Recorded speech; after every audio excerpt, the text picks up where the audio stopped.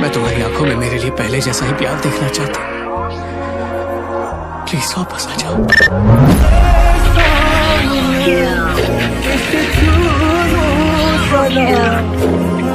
जाओ